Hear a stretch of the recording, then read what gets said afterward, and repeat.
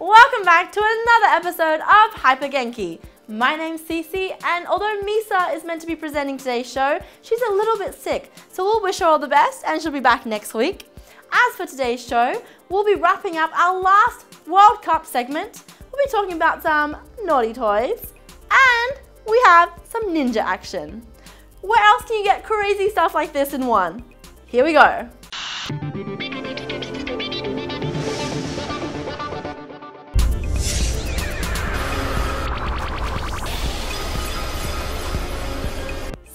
Do you like cyberpunk, ninjas, and anime? Well, you're in luck because the official website of the upcoming anime Ninja Slayer has just posted a trailer promising exactly that. Boy, I love ninjas.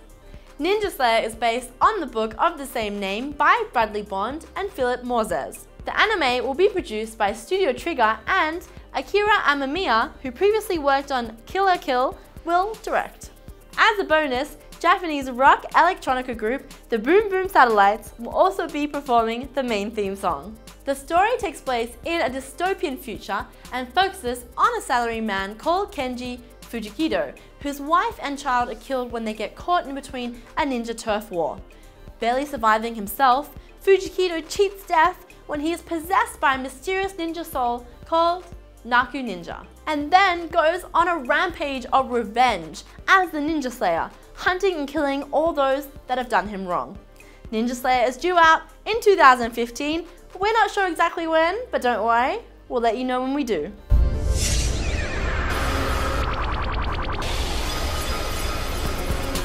And up next is game news. This time around, we have the 16th main game in the Atelier series and the third in the Dusk storyline, called Shallie no Atelier, Tasogare no Umi no Renkinjutsu Shi, aka Atelier Shallie, Alchemists of the Dusk Sea. This entry into this series will allow you to pick one of two characters, Shallistera or Charlotte, each of which has their own unique storyline.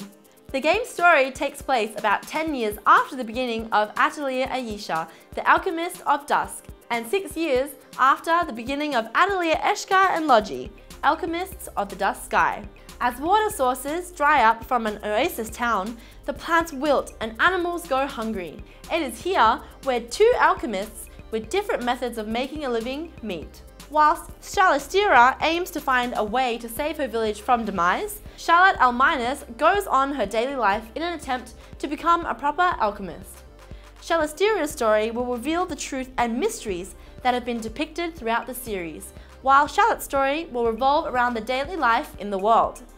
After meeting each other, Shallistera and Charlotte will grow by fulfilling goals by working together, and the friendship of the two are one of the main elements that the story will focus on. The new life task system shows tasks that the players have to perform and is tailored to suit the different playing styles. Players can now do side quests that allows them to learn more about the characters and the story.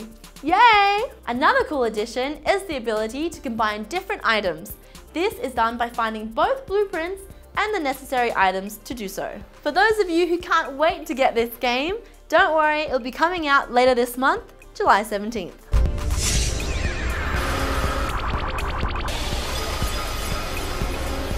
And now for toy time.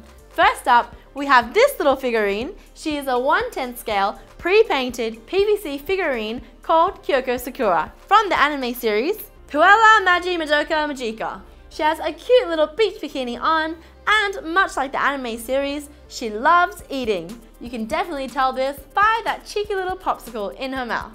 And up next, we have a much naughtier girl. This one is a 1 8 scale pre-painted PVC figure called Panty.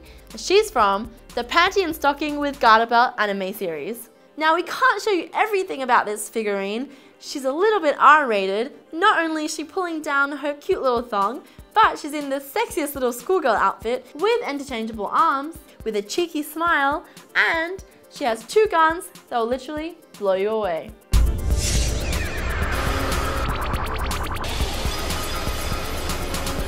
And now for crazy commercial time. This time round we have a commercial from Kirin Ice. Now I'm not sure exactly what I just watched, but there's a lot of outfit changes and it looks pretty refreshing. So just, pwah! 外は暑い家庭は冷えてる。いい意味で。妻は雪女。むしろウェルカム。夏だサマーだ。お疲れ様。冷えすぎてうますぎよ。喉越しアイス出た。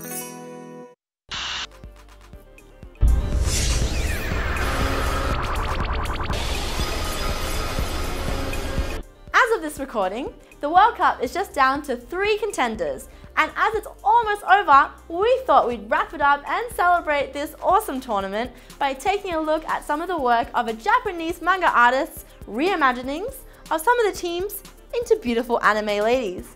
Here are some of our favorites. Take a look.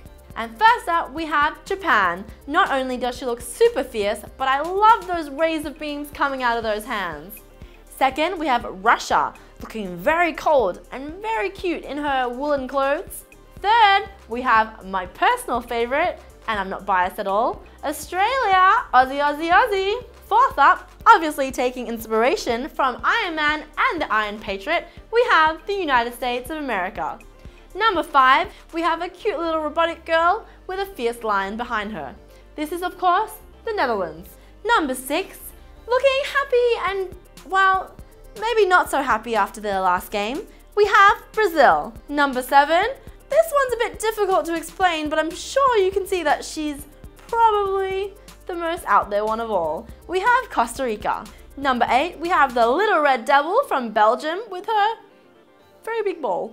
and number nine, we have a head to toe orange robotic girl with some awesome elephant tusks and cute boots. Girl, where did you get those? From Cote d'Ivoire. Number 10, we have this pretty girl wearing Diego Maradona's iconic number for Argentina. Number 11, looking very fashionable and very starry, we have Italy. And finally, looking very serious, probably after that game with Brazil, we have Germany. And that's it for our coverage of the World Cup. See you again in the Euro Cup in two years.